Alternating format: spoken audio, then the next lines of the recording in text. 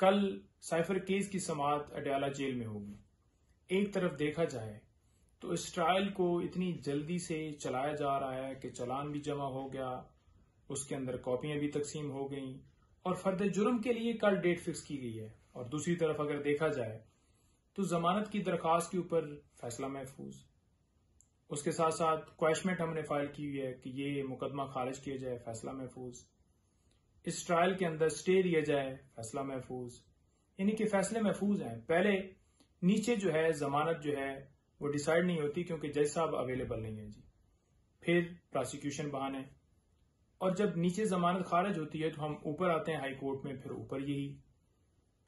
तो ये जो सिलसिला है, इंसाफ का दौरा निज़ाम, एक मुल्क के अंदर दो कानून, ये क्यों है? हम ये कहते हैं कि ट्रायल बेशक हो, लेकिन जो प्रोसेस बाकी ट्रायल के अंदर हो रहा है या बाकी जैसे मुकदमात रूटीन में चल रहे हैं दूसरे लोगों के, ऐसे चलाया जाए। तो शखाना केस की तरह दिनों में, फिर घंटों में ये कार्रवाई ना की जाए। जो प्रोसेस है वो फॉलो की जाए। पहली बात तो ये कि ऑफिशियल सीक्रेट एक्ट के तहत ये मुकदमा दर्ज नहीं हो सकता था। दूसरी बात यह है कि ऑफिशियल सीक्रेट एक्ट की जो तरामीम की गई, उसके मुताबिक ये मुकदमा चलाया जा रहा है, जो कि सदर ने साइन नहीं किया।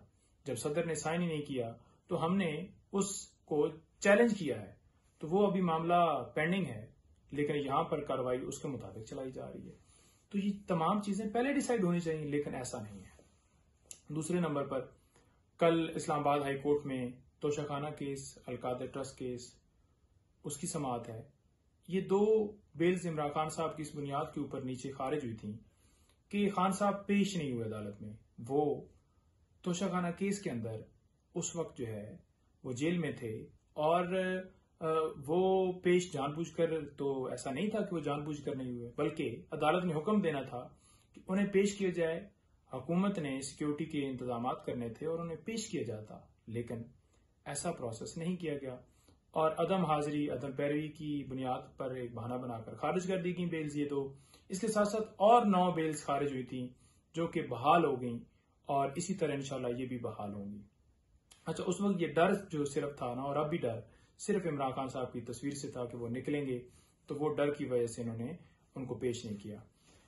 अच्छा इसके साथ साथ कल नीचे ट्रायल कोर्ट में इद्दत के दौरान निकाह वाला केस है, जो इमरान खान साहब और बीबी साहिबा के खिलाफ। ये सिर्फ़ और सिर्फ़ इल्ज़ाम तराशी सिर्फ़ और सिर्फ़ एक बहुतान लगाना, एक सिर्फ़ वो जो हेरासमेंट या एक डिस्टर्ब या एक फैमिली के ऊपर कीचड़ उछालने वाली बात होती है ना, वो सिर्फ़ की जा रही है।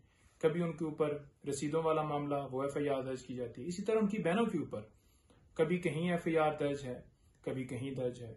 लेकिन वो किसी तरह से घबराए हुए नहीं है। वो अपना जो भी बेशक गैर कानूनी एफ़ आई आर हैं या केसेस हैं, लेकिन वो अटेंड कर रहे हैं। वो भागे नहीं है, मुल्क से बाहर नहीं गए। वो लंदन की तरफ़ नहीं रवाना हुए। तो वो भी है, इसके अंदर मुफ्ती साहब हैं। उन्होंने ये दरखास्त दी है, और मुफ्ती साहब को सपोर्ट कौन कर रहा है? पीछे से बाकायदा तौर पर इनके लोग। वो वकील है इसकी, इसके अंदर, जो इमरान खान साहब के हर केस में होता है। वो वकील है इस केस के अंदर, जो कि जो है वो बाकायदा तौर पर, जो पीएमएलएन का लॉयर है। तो उससे आप वाजिया आपके सामने बात आ जाएगी कि ये मुकदमा बनाने वाले कौन है। और इसके पीछे कौन है और किस तरह से ये पोलिटिकली ये सारा किया जा रहा है। ये केसेस हैं।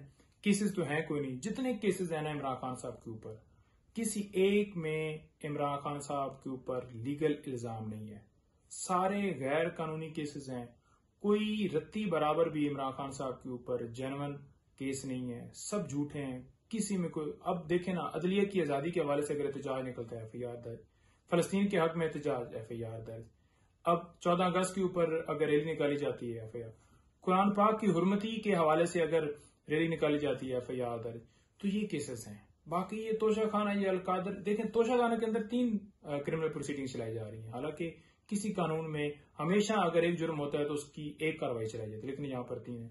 तो एक एक चीज़ से आप अंदाज़ा लगाएँगे कि ये किस तरह केसेस बनाए गए हैं। सत्तर साल की तारीख में, या जो उन्होंने मूवमेंट स्टार्ट की जितने साल होंगे, एक गमला तोड़ने के हवाले से आज तक उनका कोई वीडियो पैगाम दिखा दें कि उन्होंने कहा कि ये तोड़ फोड़ करो।